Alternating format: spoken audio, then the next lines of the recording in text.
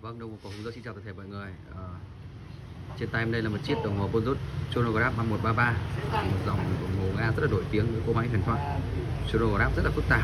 À, Đồng hồ với size mặt là 40 mm với một vỏ toàn thân được mạ vàng trong tình trạng độ mới rất là cao, trên 90%. Ờ, đồng hồ sử dụng với 5 kim và các cọc giờ số là 3 nổi. Một ô lịch lọc có 6 giờ. Chữ có rất là tốt phải 48 giờ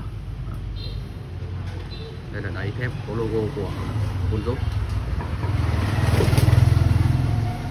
size 40 rất là to, càng dài miên man thầm hố điểm trên góc 12 giờ cũng là cái biểu tượng logo của Bonzot chiếc này thiết kế rất là độc đáo. Và anh em quan tâm là sản phẩm đồng hồ đến chiếc chronograph này thì đây là Facebook, Zalo số của em là 096 99 666 12 Vâng em xin dừng ra đây ạ. Cảm ơn thân cả mọi người xem video này.